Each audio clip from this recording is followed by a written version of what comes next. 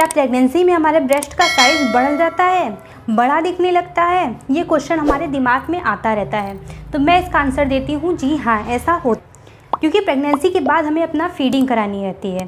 अगर हम फीडिंग नहीं कराएँगे तो वो बच्चे के लिए बहुत ही हानिकारक होता है। जिसके कारण हमारा ब्रेस्ट साइज़ अपने आप बढ़ता है। तो हमें लगता है कि हम मोटे हो रहे हैं, जिस जो कि मोटापा नहीं रहता है। ये हमारे बच्चे के लिए अच्छा रहता है। हमारे ब्रेस्ट साइज़ अच्छा बढ़ता है, हमारा पेट का साइज़ बढ़ता है टमी साइज़ बढ़ जाता है तो हमें लगता है हम बहुत ज़्यादा मोटे हो गए हैं। तो ऐसा कुछ नहीं है। आप मोटे नहीं हो जाते हैं प्रेगनेंसी में, आपके शरीर में थोड़ा बहुत हार्मोनल बदलाव होता है, जिसके कारण हो सकता है कि आपके ब्रेस्ट का साइज़ बड़ा हो जाए, जो कि आपके लिए एक तरीके से बहुत ही अच्छा माना जाता है। क्योंकि प्रेगनेंसी के बाद जिन भी लेडीज़ का अगर ब्रेस्ट साइज़ बढ़ता नहीं है तो उन्हें फीडिंग कराने में हो सकता है कि प्रॉब्लम हो।